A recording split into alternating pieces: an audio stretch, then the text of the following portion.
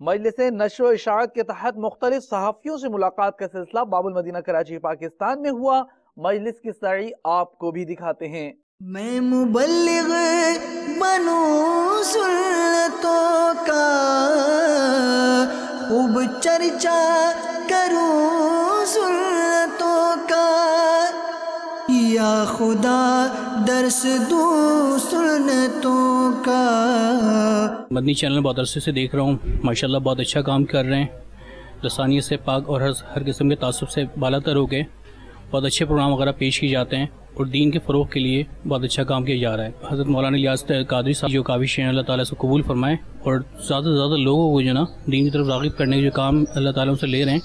ताला उसमें उनको इस्तकामत अदा फरमाए और और मजबूती अदा फरमाए और उसमें ज़्यादा से ज़्यादा लोग जो है शिरकत फरमा के उनको और मज़बूत मजबूती अदा फरमाए। दुआ करता हूँ कि अल्लाह ताला हज़रत मौलाना नियाज कादरी साहब की जो कोशिशें काबिशें उनको कबूल फरमाएँ और उसमें सलामत अदा फरमाएँ उनको। मकबूल भर में हो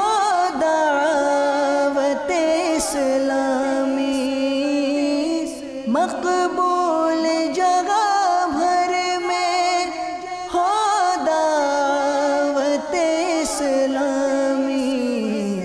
सदका तुझे, ए रब्बे गफ्फार मदीने का सदका तुझे, ए रब्बे गफ्फार मदीने का।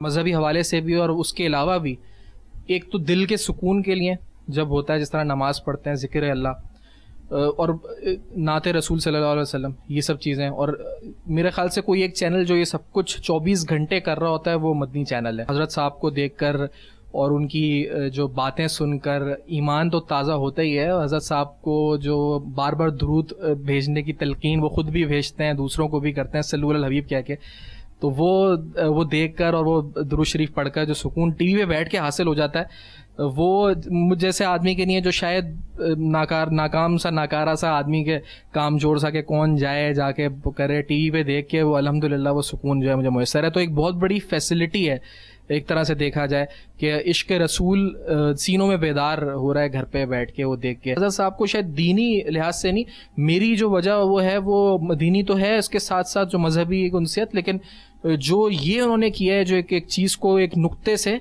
इतना बड़ा एक उन्होंने एक पूरा तहरीक की शक्ल इख्तियार कर दी है, वो बहुत इंस्पायरिंग है। वो उसको देखकर भी एक जज्बा मिलता है कि इंसान किसी भी चीज़ को ठान ले और नीयत साफ़ हो, अल्लाह के लिए हो, रसूल सल्लल्लाहु अलैहि वसल्लम के लिए हो, और उसको फिर अमली जामा पहनाए तो सब कुछ साथ होता है और फिर हर चीज़ जो है वो उसको अमली शक्ल में नज़र आती है। मेरी दुआ है, मुझ जैसे नाकारा शख्स की कि अल्लाह ताला उनको जो जो आगे उनको मकासद हासिल करने हैं वो हों और हम भी जितनी भी मदद कर सकें, जो हम अपने तौर पर ज़ाती हैसियत में जो हिस्सा ले कर सकते हैं वो हम करें।